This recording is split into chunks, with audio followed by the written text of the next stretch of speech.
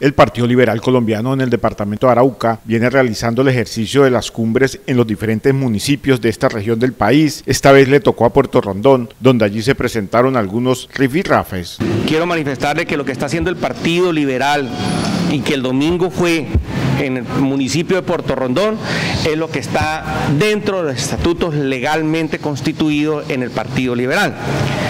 De una vez aparte de hacer el ejercicio que corresponde a las directivas liberales del departamento y sus municipios, también es la presentación de cada uno de los precandidatos que a bien tienen presentarse en cada municipio y en todo el departamento para la Cámara de Representantes, es lo que está totalmente eh, legalizado. El diputado del Partido Liberal Colombiano Hernando Pozo Parales dijo que en todo partido se presenta rifirrafi entre sus líderes. Ahora, de que haya rifirrafi o discusiones, eso es normal.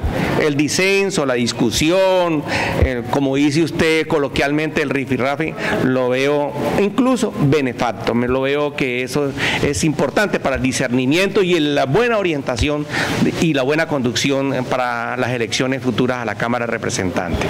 El líder político aseguró que en el municipio de Arauca tiene que presentar un candidato a la Cámara de Representantes? Nosotros somos de la idea respetuosa, en el caso de Hernando Pozo Parales como dirigente del Partido Liberal, de que por Arauca debe haber un candidato, quien sea, por Saravena o por el Sarare que recoja el sentimiento arauquiteño y fortuleño, debe ir otro candidato del Partido Liberal o candidata.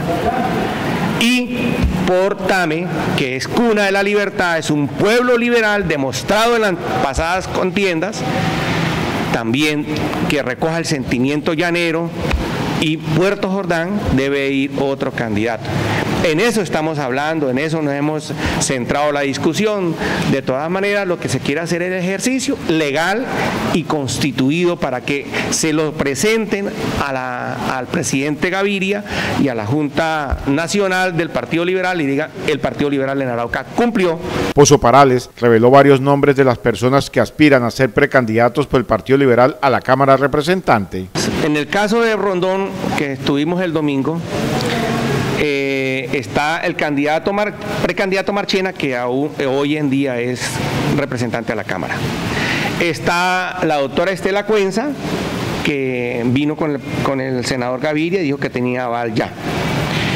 Eh, está el, el, licenciado Ariel Pedraza por Saravena.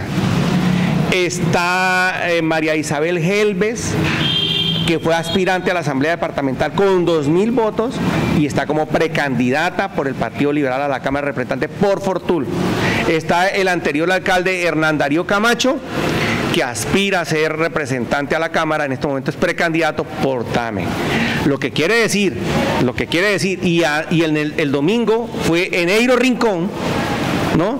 con el auspicio de tres alcaldes, según él manifestaba, presentó al catedrático Germán Rosso Anís como precandidato en el Partido Liberal. Solo faltan los municipios de Cravo Norte y la capital araucana para terminar este proceso como lo exigen los estatutos. Falta la última reunión que se hace en los primeros de, de noviembre en Cravo Norte y a mediados de noviembre lo haremos en Arauca Capital, en una gran congregación de todo el equipo liberal de los siete municipios.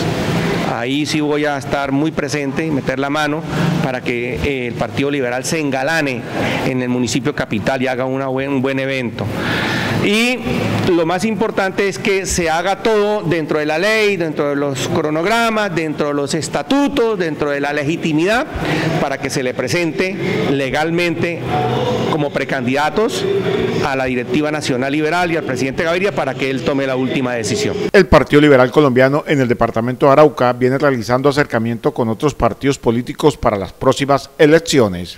Pues sí, se han venido haciendo acercamientos no solamente con el Centro Democrático, con el ASI, con algunos sectores de cambio radical, con algunos sectores que no se sienten representados en el partido de la U, se vienen haciendo con diferentes sectores que realmente ameritan la importancia necesaria y suficiente para ejercer una labor importante, unificar criterios con otros sectores y irnos a las elecciones en buena forma y en buena intención y salvaguardar la creencia liberal. Cuando se cumpla con las otras reuniones, de los liberales se presentará la lista de precandidatos a la dirección nacional de esta colectividad.